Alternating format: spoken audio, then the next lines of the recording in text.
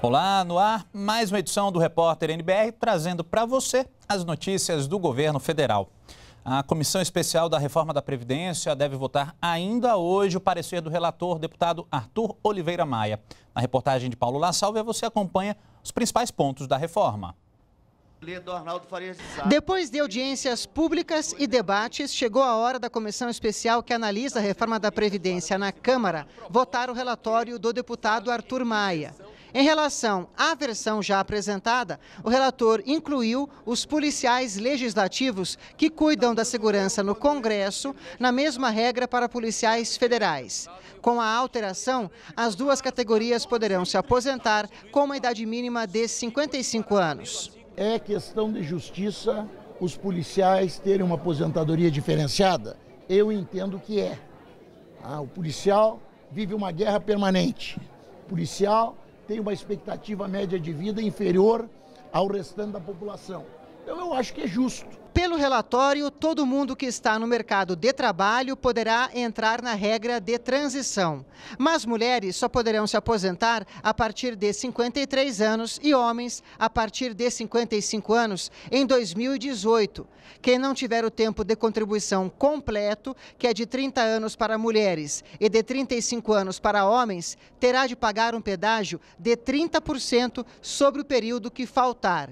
Já a partir de 2018, a cada dois anos, esta idade mínima vai aumentar um ano, até chegar a 62 anos para as mulheres se aposentarem em 2036 e 65 anos para homens se aposentarem em 2038.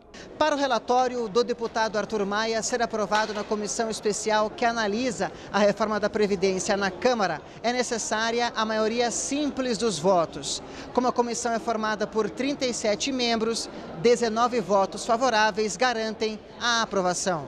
O relatório mantém a idade mínima de 65 anos para homens se aposentarem. Para mulheres, a idade vai ser menor, 62 anos. O tempo de contribuição é igual, 25 anos.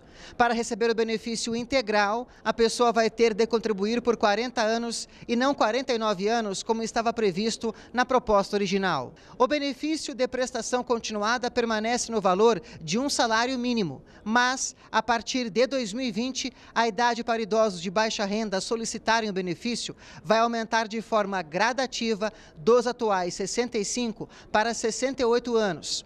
Trabalhadores rurais terão de contribuir por 15 anos para se aposentar e ter idade mínima de 60 anos, no caso de homens, e 55 no caso de mulheres. Já professores e professoras poderão se aposentar com 60 anos e 25 anos de contribuição. Outra mudança é na aposentadoria. Ela poderá ser acumulada com a pensão, por exemplo, mas o valor final não pode ultrapassar dois salários mínimos.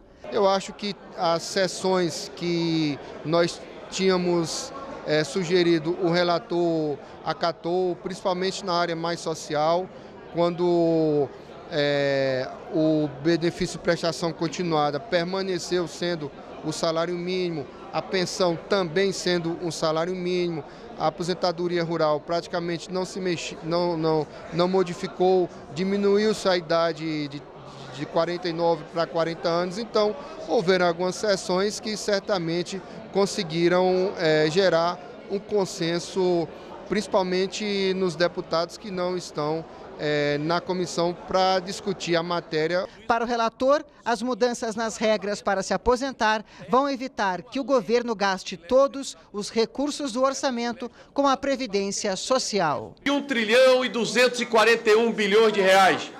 Nós tivemos 55% de tudo isso, 55% gastos com pensões, aposentadorias e BPC. Com a saúde pública, foi gasto 8% de tudo que arrecadamos, com a Previdência 55%. O pior é que essa proporção cresce a cada ano de maneira rápida e, com certeza, em um espaço de tempo muito pequeno, nós teremos a totalidade da arrecadação do governo federal destinada a pagar a Previdência Social. E ainda falando sobre a reforma da Previdência, a estudante Natália, de 22 anos, também está interessada nessas novas regras. Vamos conferir. Eu tenho 22 anos, sou estudante e eu contribuo desde os meus 15 anos. Tem 7 anos que eu faço a contribuição. Eu gostaria de saber qual é a idade mínima para eu poder me aposentar. A idade mínima para se aposentar, dada a tenra idade da nossa telespectadora, será de 62 anos de idade. Mas além da idade mínima, é exigível ainda o tempo de contribuição. Precisará ter 25 anos de contribuição. É importante ressaltar que nesta situação Caso ela decida se aposentar com o tempo mínimo de idade mais o tempo de contribuição de 25 anos, ela perceberá um benefício previdenciário no patamar de 70% da média de suas contribuições. Caso queira se aposentar com benefício no patamar de 100% da média de suas contribuições, com benefício integral, ela precisará contribuir com, por, por pelo menos 40 anos uma coleção de 2 mil livros colocados à disposição do público pelo Museu de Astronomia e Ciências Afins, o MAST do Rio de Janeiro, ajuda a contar um pouquinho da história da ciência brasileira. Químico Luiz é dessas pessoas que não saem da biblioteca. Eu venho aqui para fazer, para estudar, principalmente eu estou acabando o mestrado, faço mestrado na UFRJ. É um lugar bem tranquilo. Luiz está falando da biblioteca do Museu de Astronomia do Rio de Janeiro, o MAST, que ganhou recentemente um acervo especial.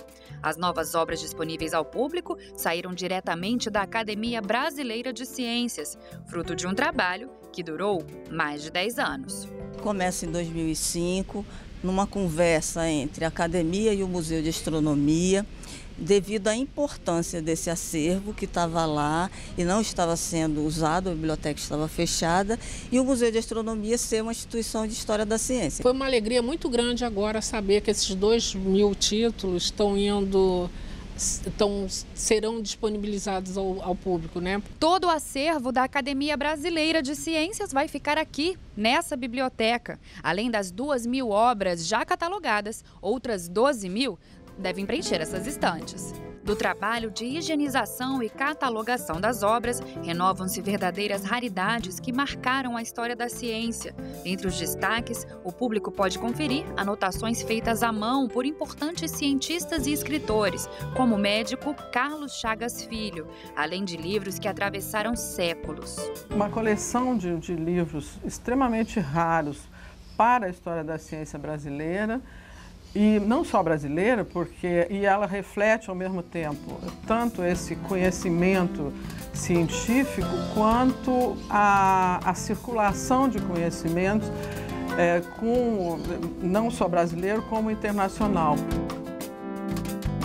Para o químico amante da biblioteca, o novo acervo científico chega em boa hora. Eu, como químico, eu olho todos os livros que tem essa, essa biblioteca aí. E, e bom, ampliar os meus, meus conhecimentos, né?